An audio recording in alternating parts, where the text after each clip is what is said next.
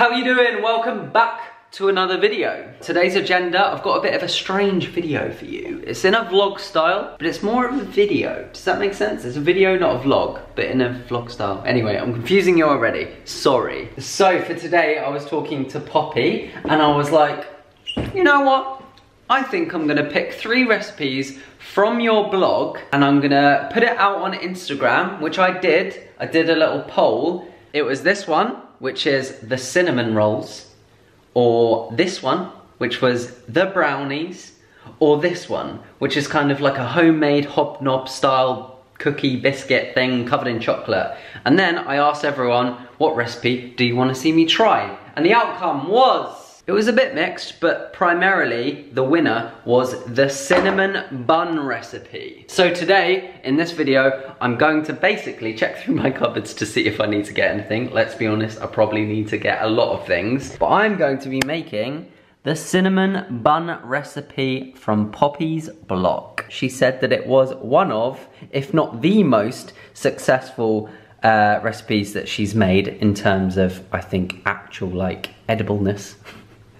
but also I'm sure people loved it. That's the plan, that's what's happening, let's just get it. Just like that, I'm in Sainsbury's, I've got my list up. What are we saying? Plain flour. Yes please. Already got my butter in there. Vanilla extract. Nearly done. Sorted. Found it. Right. Let's go back home. Ready to bake. Right, okay, so all the ingredients have measured out. Plain flour, hard butter, whatever is not butter, flour, I don't know. Things are measured, that's a good thing. Eggs, pan, butter, three different measurements of butter. I know. One for the dough, one for the filling, and one for the topping. We're all good, we're all set up, we're ready to go. Now I just need to go through the instructions and start baking. I think this is probably quite a good point to start a time lapse. What do you think? Let's get it, and then I'll stop halfway through. I have read the instructions. I do need to make the dough, and the dough needs to rise because I'm using yeast, and it takes one to two hours, and it's meant to double in size. So I will stop when I start doing the dough and making it rise and see, see what happens, yes? Cool, time lapse, let's go.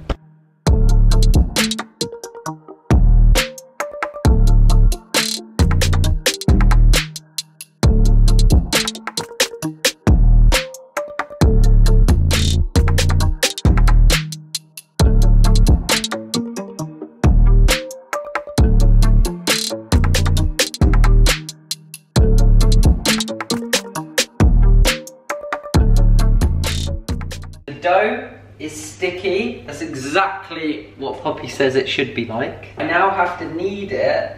Whoa, that's super sticky. Can't even get it out of here. Oh my gosh. Oh my gosh. The funny thing is, Poppy just called me. She's actually in town. She was meeting a friend for coffee. And she rang me and she was like, I cannot tell you how excited I am that the fact that you're making these buns today. That's from Poppy herself saying that she's so pumped about this recipe. What's knead? Knead? Is this kneading? is this how I knead? I will check back with you after this guy is chilled. Risen. After it's risen, not chilled. I don't have to chill it. Leave it in a warm place. Definitely not a cold place. Leave it in a warm place and let it rise for an hour to two hours. Don't put it in the fridge. So my timer's just gone off. Let's have a little look at this dough, shall we? Definitely got bigger. Definitely got bigger. Right, there's a little bit of oil on this, so I'm just gonna dab it onto the tray. Aim is to spread this evenly and make it as thin as possible is what she said. this is so makeshift. I don't know why I'm doing it on the bottom of a baking tin. It just made sense because it was a rectangle shape and Poppy said make it a rectangle. right, Apparently, this is meant to make 12, up to 12 buns. Here is something I made earlier.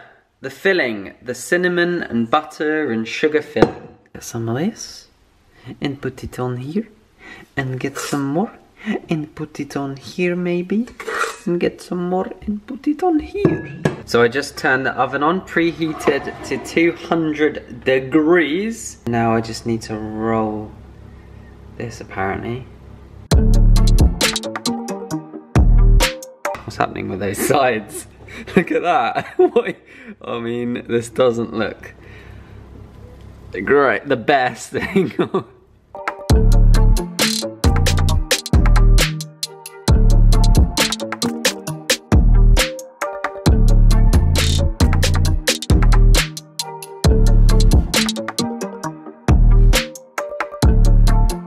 Oven's preheating, I just need to make the final thing, which is the topping. Butter's well and truly softened now, so that's good. Wait, what am I doing? I was gonna put it in here. Yoink. I'll add this soft, oh, don't wanna break this bowl. This is one of my fave bowls. I'll add the soft cheese, like so. Jesus, don't stick that in there, whatever you do. And then I will put the rest of the icing sugar in. It's becoming a bit smoky. it's becoming very smoky. Cause an absolute bloody mayhem. And bake for 12 to 15 minutes or until golden on top. Boom, 200 Celsius. Hey Siri, set a time are you okay, mate? Hey Siri. Hey Siri. Hey Siri. Hey Siri. Hey Siri! Is that a time of 14. Ah! Time has just gone off. Moment of truth. They are definitely golden brown on top. There is some bubbling action going on. Okay, get up in there with some cinnamon bun action. Topping on whilst it's hot. So let's do that. What do we think? There's Poppy's. Should be doing this once I put the topping on. There's Poppy's. And there's mine. I'm gonna try this actually. Oh my god. That is freaking epic. This is definitely like a, a tear and share style um, recipe. Get in, get messy, tear and share vibe. Come then! Because I'm putting it on whilst they're hot. It's melting it and making it run easier into like all the little cracks. That is so tasty.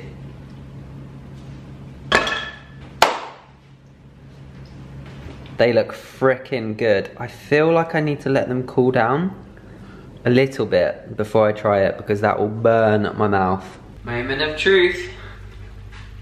What does it taste like? That's what it looks like out of its little space. the first bite.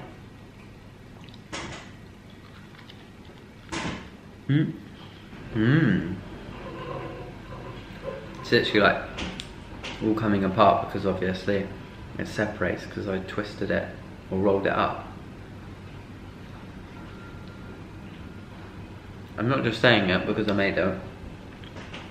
I mean, um, I made it from Poppy's recipe. So well done, Poppy. That is very good. Very, very good. All made from fresh ingredients as well. Rather than buying like, can you buy dough like that? Would you buy like puff pastry or something? But I made it fresh with the KitchenAid. I'm gonna make a cup of tea and enjoy this with it. I hope you've enjoyed this rather spontaneous baking video.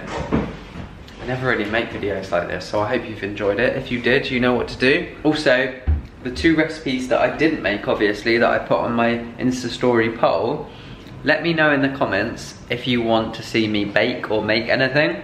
I do love baking. Yeah, hit me up in the comments, give me some suggestions. Let me know if you like this type of video, and I'll definitely be doing some more because they're just fun. They're just fun little videos. On that note, I'll be seeing you real soon in another video. Thanks for watching, guys. Peace.